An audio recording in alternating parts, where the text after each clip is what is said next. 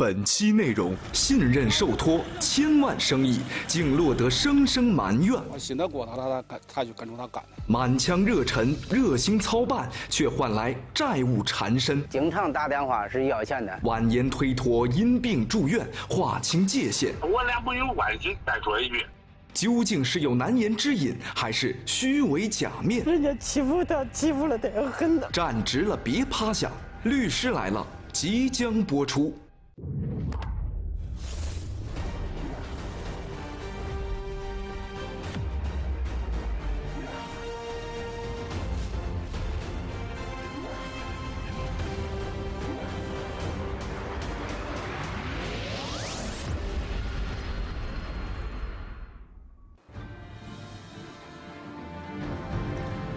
想一想，您身边有没有这样的热心肠？遇到好事儿、好机会，愿意和朋友分享，大伙一起过上好日子。在河南开封南桃园村，有一位老李，他就是一个热心肠。二零一五年，通过老乡介绍，老李要参加工程建设，据说规模不小。老李很兴奋，赶快招呼好多工友一块儿呢去西安市做工程。终于在二零一八年竣工了。老李原本希望着从此以后啊，生活可以富足一些，跟乡亲们也能处得更加融洽。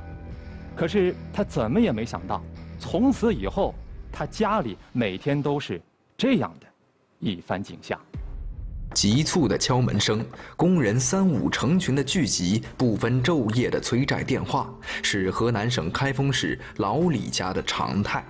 经常打电话是要钱的，也没办法。跟人家这工工人哥哥用不着，你说啥时候给人家也给不上。老李原名李恒明，是开封市南桃园村的村民。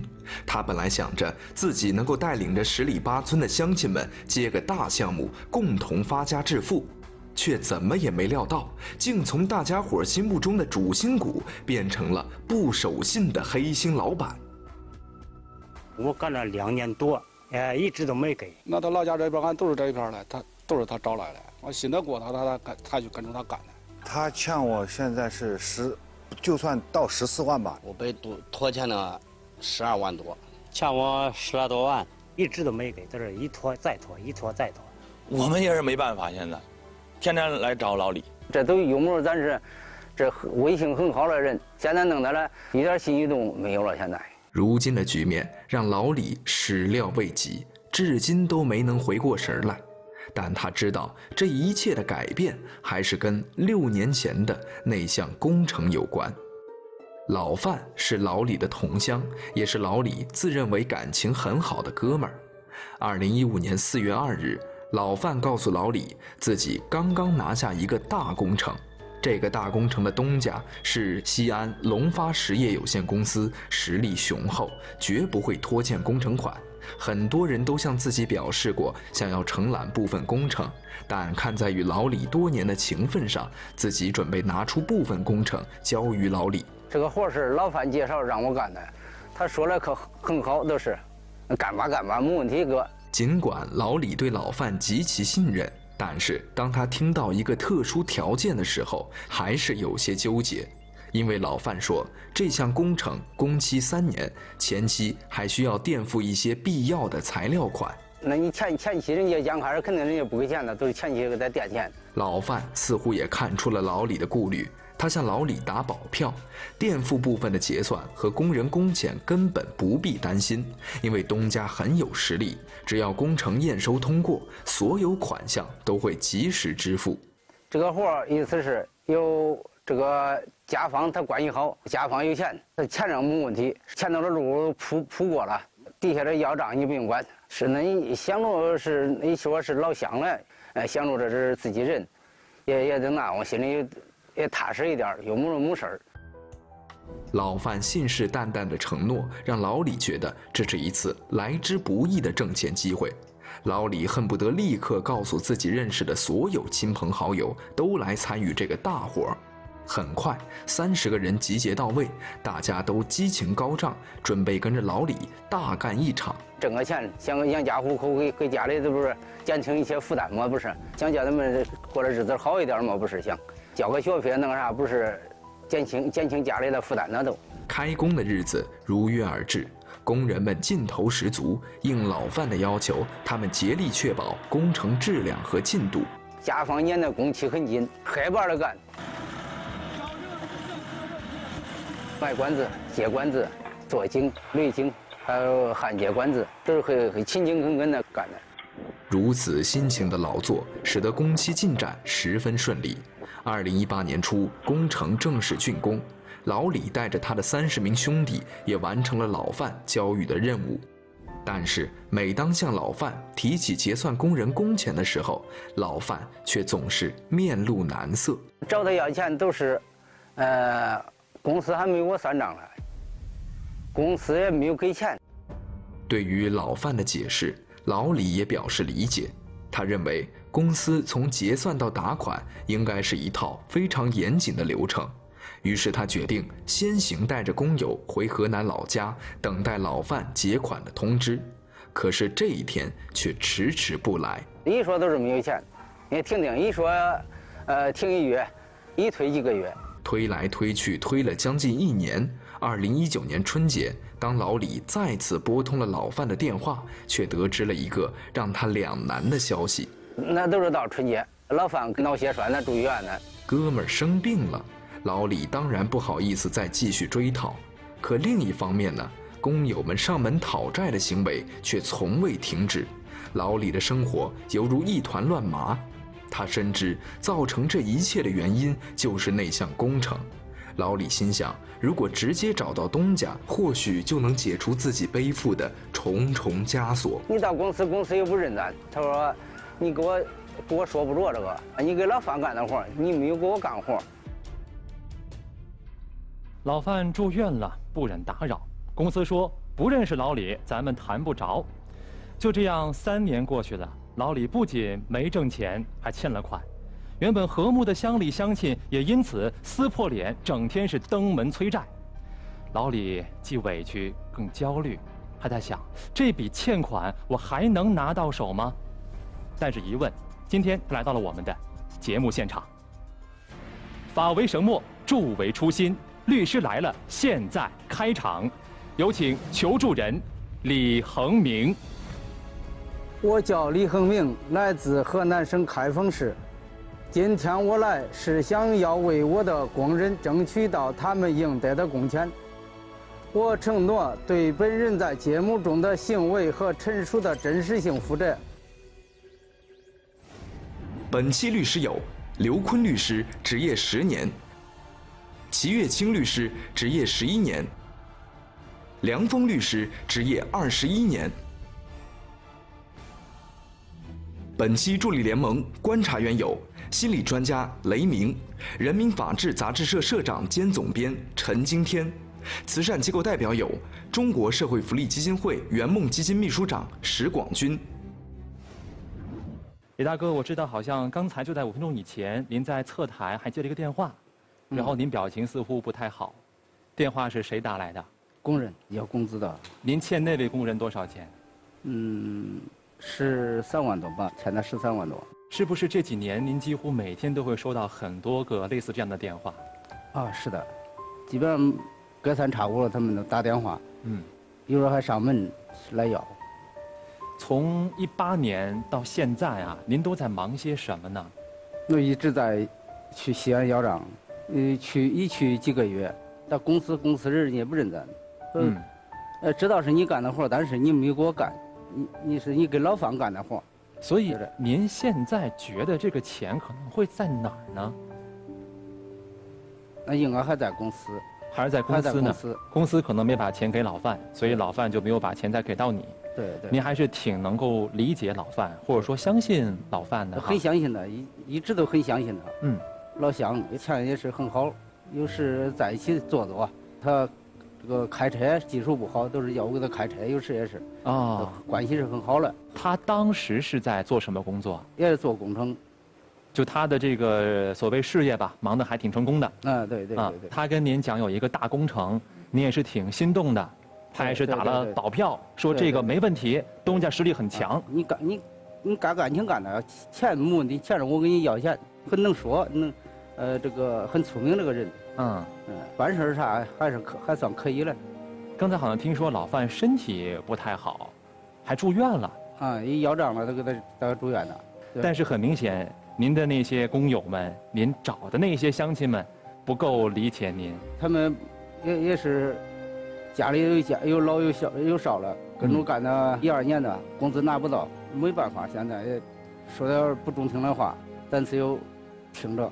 去家里也是闹腾闹腾，说说，从家里人吆喝吆喝，说点闹话。那总去家里那么闹，家人也在也在旁边呀，他们的反应还好吗？那不理解的话，人家那钱都要回来，咱为啥你这钱要不回来了？总是埋怨，现在太窝囊了，光嫌咱没有本事。我想要账，我埋怨他，我没法过，人家账都要过来，就俺的账不给，俺大的现在没法办，我都是。埋怨他，你太软弱了，叫人家欺负成这个样。跟他干活了，我人家都干着要着，你为啥不要？他说：“咱是老乡嘞，俺都是跟一块干活的，一起去了，不想给他找丢人。”他说了是，是不是？都是咱干把活，咱一不闹事咱好好干这活，干干人家都给咱钱的，不可能不给咱钱的。他光一跟我说，人家不可能不给钱的，到现在弄成这个线儿。能够听出来您爱人心里的那份委屈，他觉得您办事儿，哎，说不好听的有点窝囊。对对，就是为什么别人有被欠薪的情况能要回来钱，为什么就老李你要不回来钱？他不满意，他希望您可能选择采取更加强硬的方式去讨要这笔欠款。对，您有考虑过爱人的这个建议吗？嗯，没有，都是在一块儿了。他能不给啊？我说早一会儿晚会儿他要给咱的，他该唠叨唠叨，该该吵吵，该闹闹。嗯，想着老汉是老乡了，看见这种情况，小孩也不理解，不理解您。嗯，还是看中，说太太窝囊了，都可以，不太理我，不太说话。哎，看到李大哥现在这种默默的在流泪，我也是心里面很不好受。这可能已经成为他的常态了，哪怕李大哥现在哭的时候都没有什么声响，就是一个男人默默的在这里流眼泪。所以说这笔钱我们必须得要回来，得把这一揽子问题给他从源头上争取解决了，是吧，李大哥？咱们再说回到一开始，您和这个老范谈这个工程，当初您和老范是呃这怎么定的合同？怎么约定的？没有合同。没有签过合同，没有。你你们是怎么约定这个工作的？这个钱归他要，活归我干，就是这种情况。这是一个什么工程？室外工程。嗯，小区里边的室外工程。哦，所以刚才我们看到您和工友在铺管道，在在做一些，就都都是涉外工程，是吧？对。老范他是，他是先揽了一个活儿，是吧？他承揽了这个天下荣金的室外工程，跟这个地下工程、地下拆库。他这这工程四五个工程都是他承揽起来了，那挺大的一个总体工程，嗯大概金额的话，一个多亿吧，有一个多亿的大工程啊。然后他是说把一部分给到你，你来负责，对对是吧？对。我想问一下，就是在整个工程中，您除了没有跟老范签订合同，您跟其他人有签过合同吗？没有，刚开始说给老范签合同了，我让他签合同啊，咱第二签啥合同啊？他说不用签合同。就感觉好像签的合同是你不够信任我，嗯，咱们关系好就不要签，啊，对对，哦，这么回事所以说谈到现在啊，我们发现老范这个人是非常非常关键的。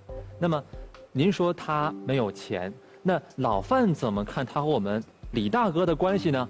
我们来看一看前方的一段律师调查。主持人，大家好，我是调查律师张斌。本案所提及的范某究竟与求助人是什么关系？对此，我们也联系到了范某本人。范某称，他和求助人李和明之间没有任何劳务关系，也不欠李和明一分钱。对于工程欠款迟迟不到位的情况，他称自己也是受害者，是被龙发公司给骗了。我一分钱也不欠，哎，因为啥呢？本身俺俩也没有啥劳务收入，俺俩之间本身也没有啥东西收据，哎，也不存在劳务关系，也不存在啥，都是被。被他这个公司现在就是坑了嘛，算账啊！我也不想再提了，好吧，今天我还有事儿哈。老范把电话给挂掉了，谈到了几个信息点啊。第一个呢，老范说公司也没有给他钱。第二点，李大哥，老范说和你没有任何关系。这则回复让在场的所有人都十分吃惊。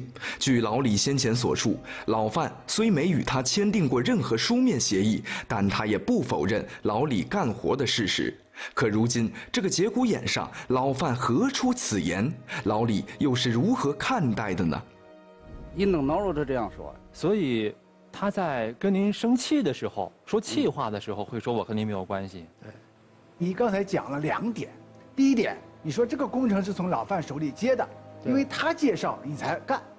第二点，老范跟你讲，钱我来要，活你来干，是吧？这两个点是跟他的连接关系。对，我想问你的是，你带着兄弟们去西安以后，到工地上，是谁给你安排的这个活？老范。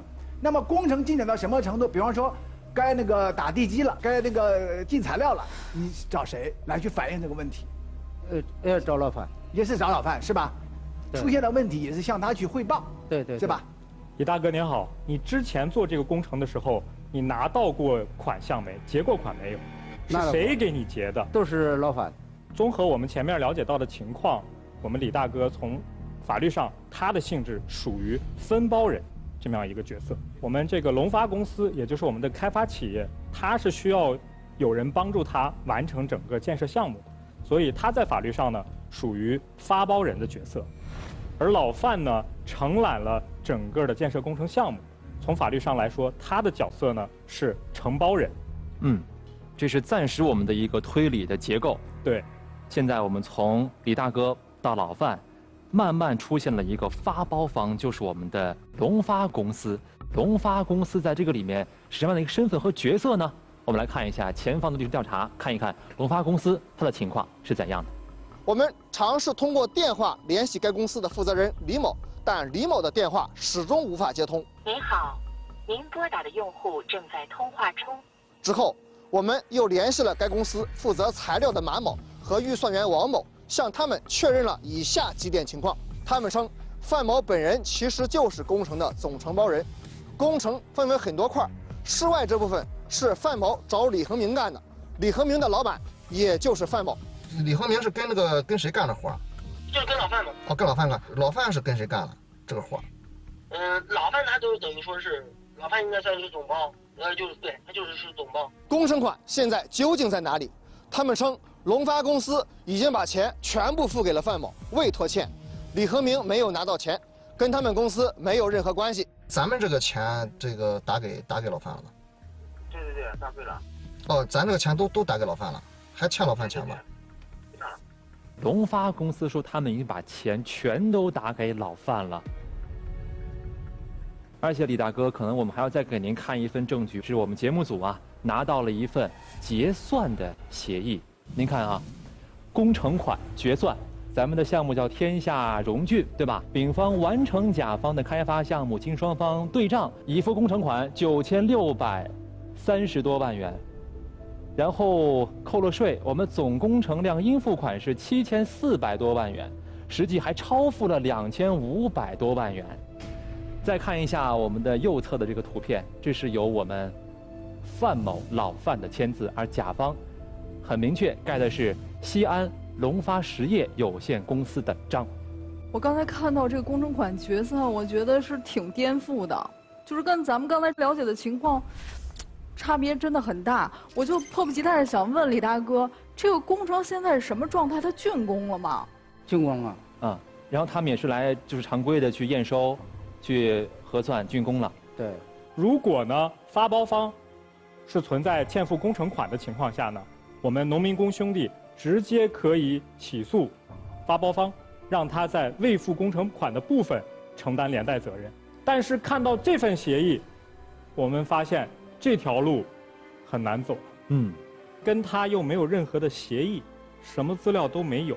一旦他反悔，整个维权这个路是很难走的，因为龙发公司已经付钱了。对，嗯，当然我们只是说这是一份协议，目前我没有看到转账记录。我建议在这里我们先画一个小问号。但是我想这事儿已经足够冲击到李大哥您的一些想法了。没想到老范隐瞒了这么多事儿没跟你说吧？没有。每次找他，他都是怎么跟你说的？公司还没算账呢。然后他觉得自己还挺委屈，还说你不要找我了，我也没有钱，我受害者，你找我我都住院了。对对。好，那就这个新的证据，我们呢又采访了一下老范，看一看这回他会如何回应呢？呃，我们跟龙发核实了，他们说给你结过钱了，这个是怎么回事？我只给你声明啥嘞？嗯。图，一分钱也不欠的。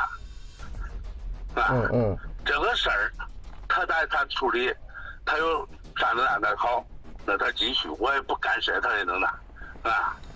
啊，也就是说，龙发确实给你钱了，是吗？你你你再说这，你再说，你把我电话都给你挂了，都再说，呃，没法再说。那接下来你有什么安排啊？什么时候能给李和明把这个钱付了？呃，没有，我没有啥安排。对这个他的事我他自己有他自己的安排，我没有安排。他，呃，他人家给他咋解决，我不清楚。为啥我俩没有关系？再说一句，我跟龙发的事跟他也没有关系，啊，有啥事他。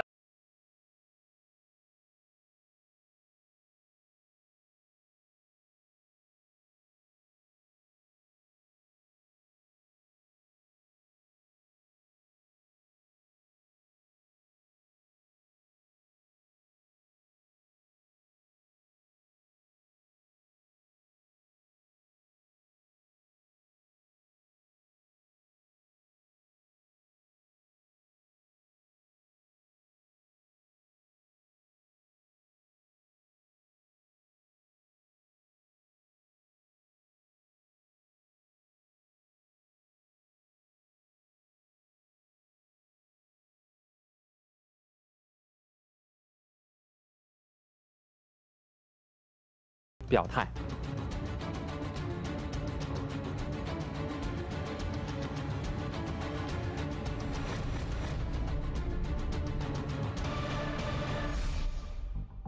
好，我看到呢，此刻我们的刘律师是两盏灯，而谢律师和我们的梁律师都是信心满满哈。说实话，对于老李呢，我我感想我还是挺纠结的。我觉得我这个信心不是说一定能为老老李拿下来这钱。信息是，我们应该在法律上为老李找到一个后盾，找到一个支持。好，太好了，那我们就从法律上以法律为武器，去尝试突破一下。咱们先分析一下老范和这项工程的关系吧。邱律师，您有没有什么感觉不对劲的地方，在老范和我们的龙发之间？呃，我在这里，我想先明确一点，嗯，就是我国法律是禁止。没有资质的组织或个人是进行工程施工的。结算协议当中，老范他是作为合同主体一方。假设这份协议是真实客观的，他是属于一个自然人，自然人一定不具备相应的资质。那他到底是怎么的方式去进行施工的？听说是这个 挂靠一个公司。我们来看一下当时的这一份承包合同，就是。天下荣郡二期，对吧？室外附属工程的一个施工合同，工程名称没错，然后地点也没错。我们的发包人西安龙发实业有限公司，承包人各位看，陕西港华建筑工程有限公司咸阳分公司。各位又出现了一个新的名字，港华公司。它它挂靠的吗？可能是挂靠的，是不是？挂靠。一个新的主体浮出水面。那么究竟他和老范是什么关系？他在本案中又扮演了怎样的角色？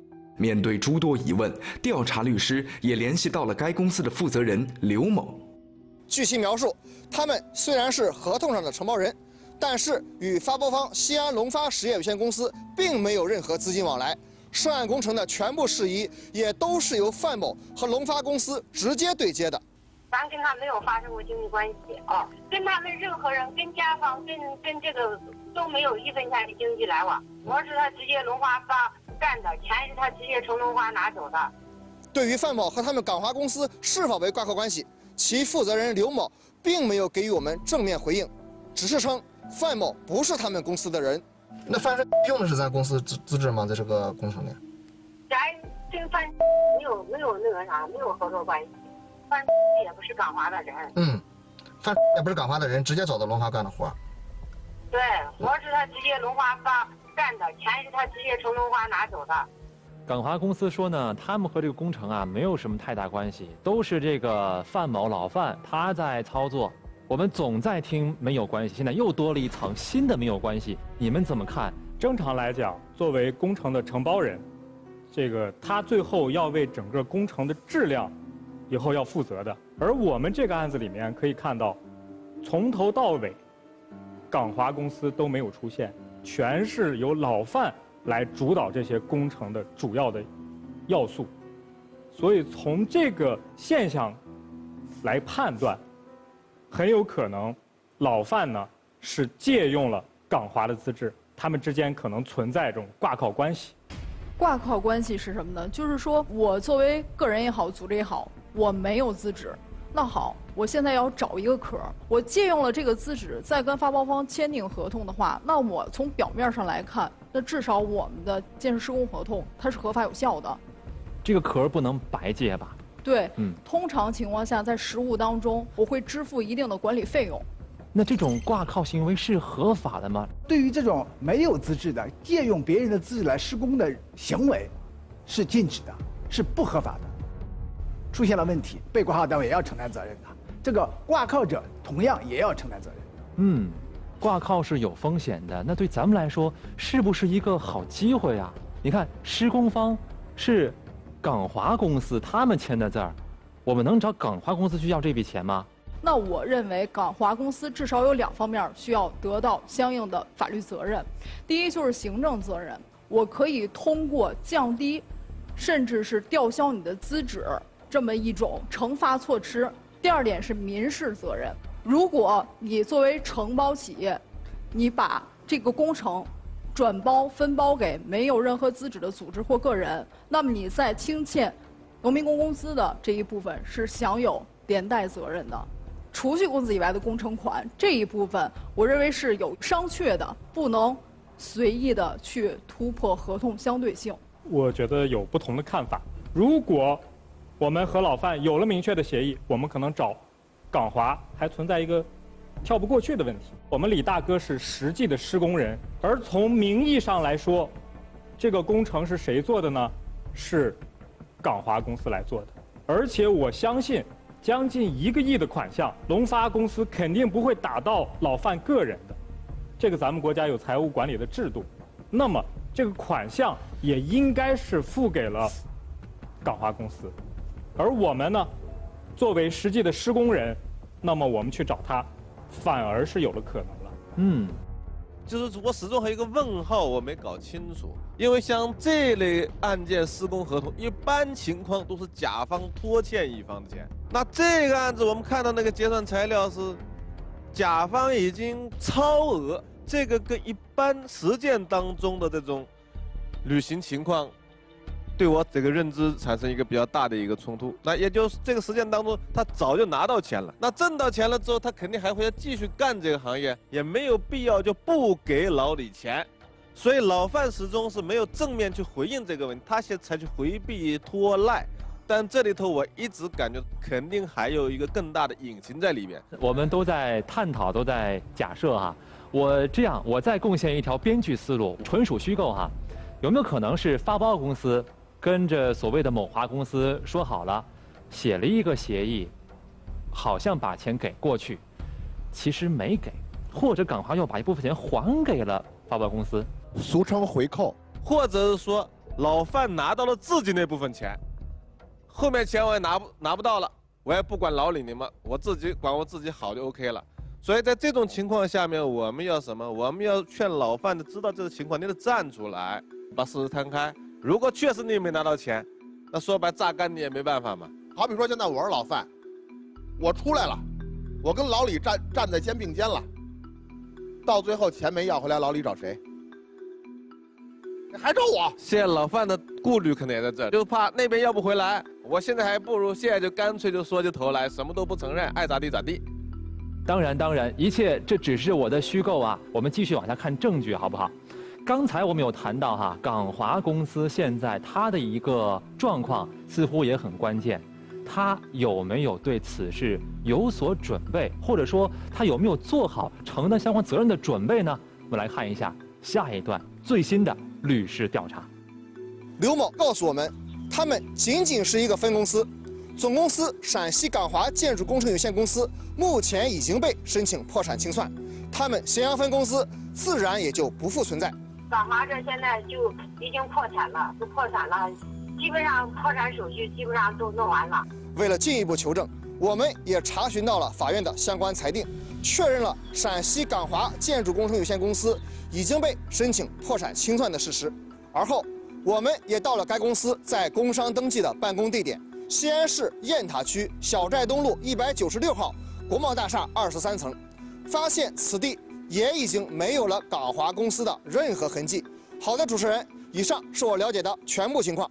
辛苦张斌律师了。刚才讨论了很多，但是港华公司破产了，怎么办？我们就没有办法了，是不是？不能找他了。也就是裁定受理他的破产申请，他才开始进入到这个清算的过程，并不代表是破产终结。这个过程当中，我们还可以进行债权申报。当然说实际当中有可能不是清偿率太高，但是并不是说没有希望。明白了。呃，打一个比喻，如果以拟人化的比喻的话，公司破产等于说一个公司可能要去世了。现在呢，破产清算是它快不行了，对，还没完全不行呢，正在抢救。我们在梳理一下，在这个事情当中啊，老李和港华公司没有合同关系，没有合同关系不能成为主张权利的障碍。建筑施工单位将建筑工程承包给没有资质的个人，导致这些农民工工资拖欠的，由具备资质的发包单位承担用工主体责任。第二个，龙发公司的问题，我们知道，对国家对保障农民工工资的这方面的力度，那么规定发包单位应该要求施工单位去开设农民工工资专户账户。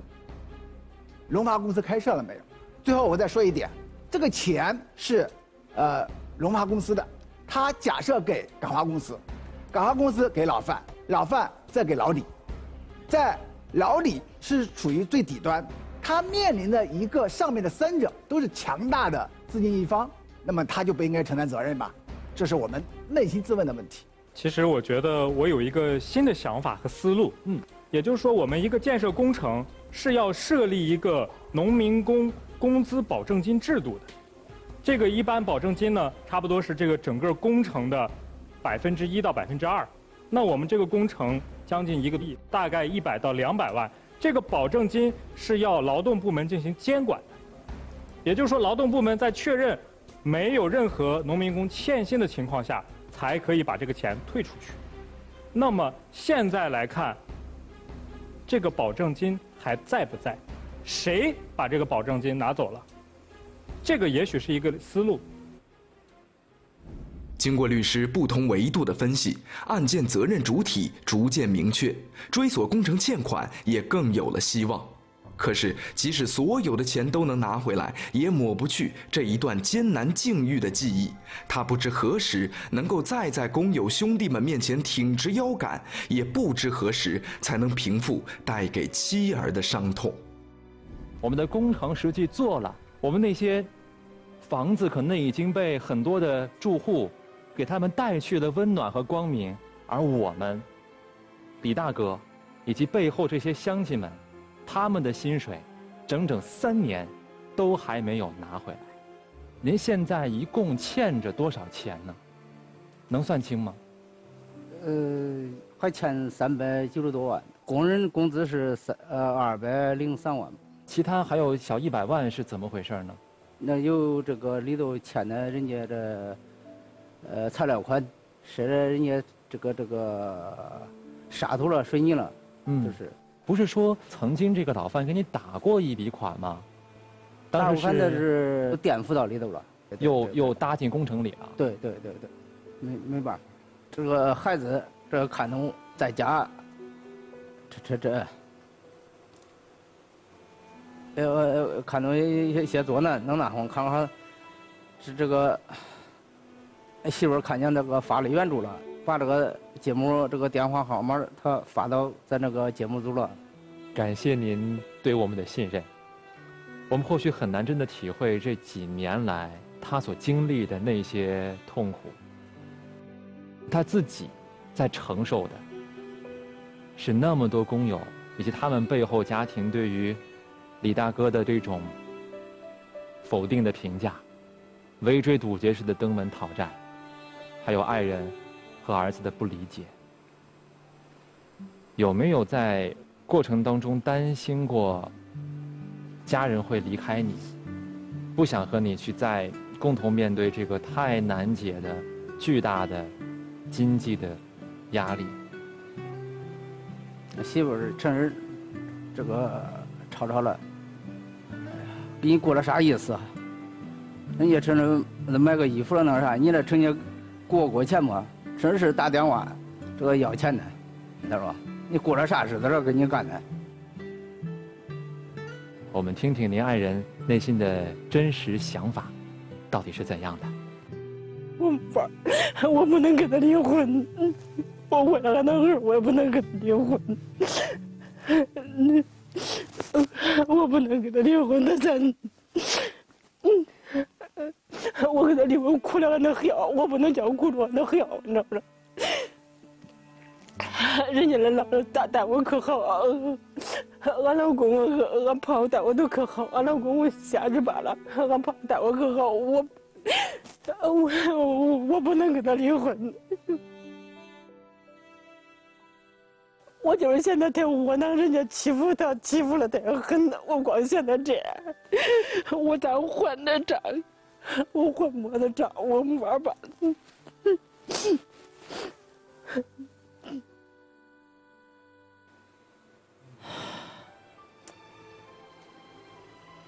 其实听完这段采访，我挺感动的，李大哥，您的爱人反反复复在说：“我不能跟他离婚，我不能跟他离婚。”因为我老公对我可好了，我婆婆对我也可好了。我说我不开心，我只是心疼我老公，我心疼老李被人欺负的太狠了，我没有办法去还这个债。都说不是一家人不进一家门啊，你看我们大嫂哈，其实也是非常善良。这么好的一对夫妻，像众多中国平凡又质朴的。乡亲们一样，他们本该正常的通过自我的劳动获得应得的报酬，过的那些虽不富足但也安稳平静的生活。可为什么今天李大哥他的爱人他的孩子，却要在付出劳动之后承担这些？到底是哪个环节出了问题？是什么地方出了差错？还是有人在恶意作恶？所以现在三位律师。我们要回归到我们的擅长领域了，也是我们律师来了节目的宗旨，为李大哥提供优质的法律公益服务。假设你们三位会代理此案的话，你们之后可能会怎么做？请说一下你们可能采取的代理思路。我的想法呢是分成两部分来走，第一部分呢是关于工人的工资，这部分呢我建议。还是再去劳动保障部门进行报案，因为现在我们国家的很多省建立了农民工应急讨薪的救助基金，如果有这个基金的话，他们可以先代付一部分工资款项，然后把这个受让权交给他，由他再向上游公司再进行追索，针对工资款，通过劳动部门的介入。还原一些真相，到底龙发公司有没有付款？另外呢，就是针对剩余的材料款，我们建议向法院进行起诉，把龙发公司、把港华公司和把老范同时列为被告，由他们向法院澄清各自需要承担什么责任。嗯，首先我会向劳动监察部门呢去举报。存在这么一个拖欠农民工工资的违法事实，那么通过劳动行政部门的介入，查清楚到底这个款项是怎么一个走向，在刑事责任追究的同时，我会向人民法院提起民事诉讼。为了防止有漏网之鱼，我会把发包方、承包方和老范同时列为被告，他们三人之间谁承担什么样的责任，由法院做出客观的。判断和评价，第三点呢，农民工工资保障金按照国家的相关的管理制度，承包方，也就是说施工单位，它确实应该按照合同总价额的款项一定比例去存储到银行的相关一个固定的账户当中呢。所以说，从这一点出发，也可以对李大哥有一个保障。那么，如果我来做这个事情，我想一定会把龙华公司作为第一被告，港华公司第二被告。老范作为第三被告，共同来追究责任，甚至有可能在诉讼当中去对那个龙华公司去申请保全，去查封账户。我想，随着诉讼的推进，它可能都有不同的环境出现，也可能出现和解，也可能出现谈判，也可能出现新的呃新的突破口。所以我在想这件事情，这个节目录完之后，你要做的第一件事情，马上进入法律程序去起诉。才为你未来寻找一份可能，好吧？谢谢。当然，在此刻，我还想问你一个问题：我们有这么多的难关需要克服，这么多证据需要去搜集和寻找。那我们三位律师，你们对于办好此案，帮李大哥真正的去拿到这笔钱，到底信心有多少？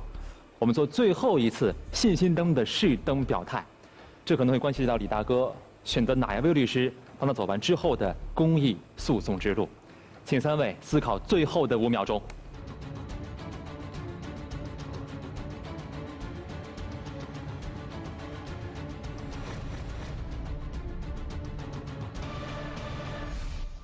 好，谢谢。此刻在我们现场是九盏信心灯全部亮满，所以现在李大哥，咱们得把腰杆挺直，咱不能趴下，对不对？我要请您起立。因为我们要进入律师选择环节，再一次面对我们出场三位律师，他们分别是梁峰律师、齐月清律师以及刘坤律师。您现在要选择一位代理之后的案件，李大哥，您思考最后的五秒钟。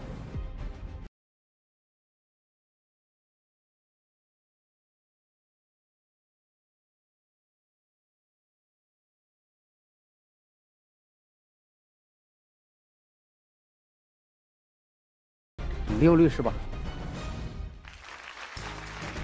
我相信将近一个亿的款项，龙发公司肯定不会打到老范个人的。我们要劝老范，知道这个情况，你得站出来，把事实摊开。我们知道国家对保障农民工工资的这方面的力度，规定施工单位去开设农民工工资专用账户，公司开设了没有？那我们就从法律上以法律为武器，去尝试突破一下。目前已经看似严密的壁垒，刘律师，这是我们的公益代理律师奖杯，请允许我颁发给您。好，谢谢。农民工这个群体，他们托起了城市的脊梁，所以作为法律人，作为一名律师，我觉得为他们讨要回血汗钱，这是我们的职责和责任。谢谢，谢谢。好的，谢谢。其实我们也都是新时代的打工人，我们在共同努力，让我们的祖国变得更加的富强和美好。而我想，老有所得应该是一个基本的前提和保障。此案我们会继续关注，也希望二位可以精诚合作，我们共同尽快的讨回公道，拿到钱，好不好？加油！好，好，感谢你们的精彩的解读和分享，谢谢两位，感谢三位嘉宾，谢谢。我们下一期节目再见。